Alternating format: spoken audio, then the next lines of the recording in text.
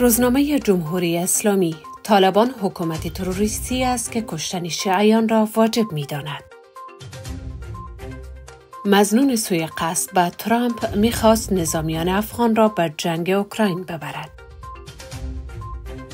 قطر یک شفاخانه 400 بستر در قندهار اعمار می کند. هیئتی از مقام های امنیتی پاکستان برای گفتگو درباره تنش های مرزی به قندهار رفت. فرمانده مرزی ایران از کشف بیش از دوازده کیلو طلا از یک موتر سواری افغان خبر داد. و در اخیر آلمان و ازبکستان برای پذیرش کارگران ماهر و اخراج مهاجران افغانستان توافق کردند.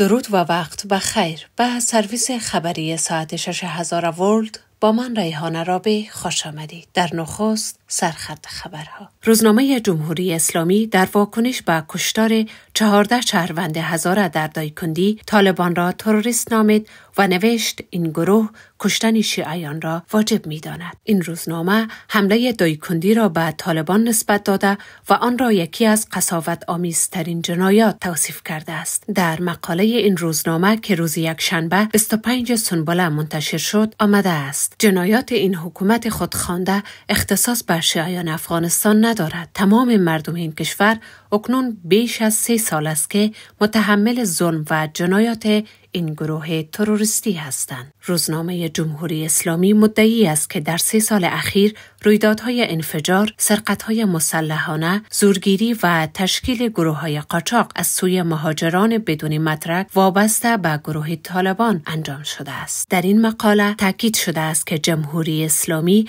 با حمایت از مردم افغانستان امتیازات طالبان را با روش های سیاسی سلب می کند. در مقاله این روزنامه ایرانی همچنین آمده است که طالبان شیعیان را کافر و کشتن آنها را واجب می داند. این روزنامه تاکید می کند که نباید به ادعای دوستی طالبان اعتماد شود. روزنامه نیویورک تایمز خبر داد رایان روس مظنون سوء قصد به ترامپ پارسال گفته بود به دنبال جذب نظامیان حکومت پیشین افغانستان برای جنگیدن در اوکراین است. روس گفته بود می توانیم به این سربازان از پاکستان پاسپورت بخریم زیرا این کشور بسیار فاسد است. روز یک شنبه رسانه ها از تیراندازی در نزدیکی محل حضور ترامپ در پالم‌بیچ فلوریدا خبر دادند. مقام های پلیس اعلام کردند که فرد مسلح در میان بوته ها در نزدیکی زمین گلف بود که ماموران سرویس مخفی لوله تفنگ او را دیدند. مقام های پلیس نام مظنون را رایان وسلی روس اعلام کردند و گفتند او هنگام فرار متوقف و بازداشت شده است. روزنامه نیویورک تایمز در گزارش نوشت که آقای روس 58 ساله در ماه مارچ پارسال با این روزنامه مصاحبه کرد و گفت که به دنبال جذب نیروهای ارتش حکومت پیشین افغانستان برای جنگ اوکراین است. او گفته بود که قصد دارد به گونه غیرقانونی نظامیان افغان را از ایران و پاکستان به اوکراین منتقل کند. آقای روس مدعی شده بود که دهها نظامی افغان علاقمندی خود را به جنگیدن در اوکراین اعلام کردند. معلوم نیست که تلاش های رایان روس برای جذب نظامیان افغان چقدر موفق بوده. اما یک نظامی حکومت پیشین افغانستان در ایران به نیویورک تایمز گفته بود با او در این مورد تماس گرفته شده و اگر رفتن به اوکراین به معنی پایان اقامت غیرقانونی او در ایران است می‌خواهد به جنگ برود. رایان روس خودش نیز در سال 2022 چند ماه را در اوکراین سپری کرد. آقای روس گفته بود که حاضر است در اوکراین بجنگد و کشته شود.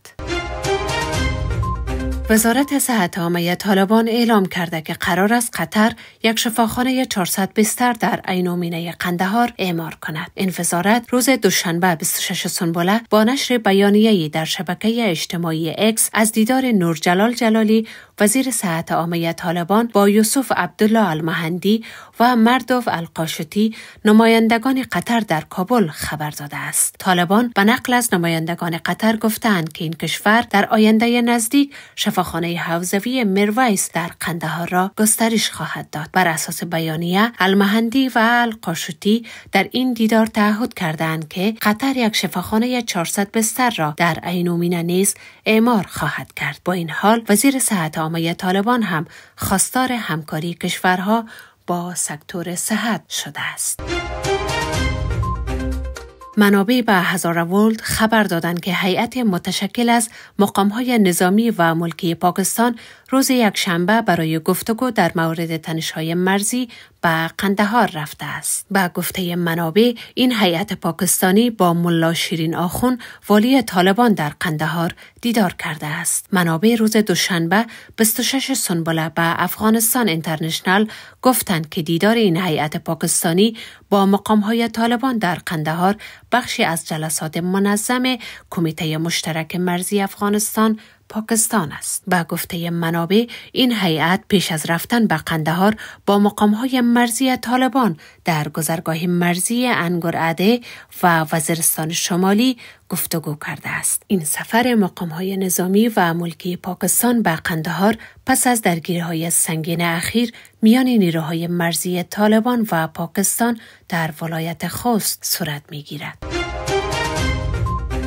فرمانده مرزبانی خراسان رضوی روز یکشنبه گفت مرزبانان ایرانی در تایبات از یک موتر سواری که از افغانستان آزم ایران بود سه و چار قطعه شمشتلا به وزن دوازده کیلو و 720 گرم کشف کردند. و گفته این فرمانده فرد متهم با تلاها به مراجع قضایی تحویل داده شده است. این مقام مرزی در گفتگو با خبرگزاری ارنا گفت که مرزبانان ابتدا به یک موتر سواری که از افغانستان قصد ورود به کشور را داشت مشکوک شدند و در بازرسی دقیق آن سه و چهار قطعه شمشتلا با وزن دوازده کیلو و 720 گرم کشف کردند. مجید شجاع گفت که مرزبانان هنگ تایبات در ایست و بازرسی گروهان مرزی در هفته سنبله موفق به کشف این محموله شمشتلای قاچاق شدند. پیش از این نیز مرزبانان ایرانی در گذرگاه تایبات موفق به کشف مقادیر شمشتلا شده بودند. نخست وزیر آلمان گفته است که این کشور و ازبکستان توافقنامه ای را در زمینه پذیرش کارگران ماهر ازبکستانی و اخراج شماری از مهاجران امضا کرده است. با گزارش روی ترس نخست وزیر آلمان دیروز یک شنبه 25 سنبله پس از دیدار با شوکت میرزیایوف رئیس جمهور ازبکستان در سمرقند از امضای این توافقنامه خبر داد. نخست وزیر آلمان گفته است ما مهاجرت کارگرانی با استعدادهای عالی را که برای رشد اقتصاد آلمان به آن نیاز داریم امکان پذیر می کنیم. او افزوده است که دو کشور همچنین در مورد روش ساده و غیر بروکراتیک برای کسانی که باید برگردند توافق کردند. سپاس از اینکه تا پایان سرویس خبری این ساعت ما را همراهی کردید تا برنامه بعد بدرود.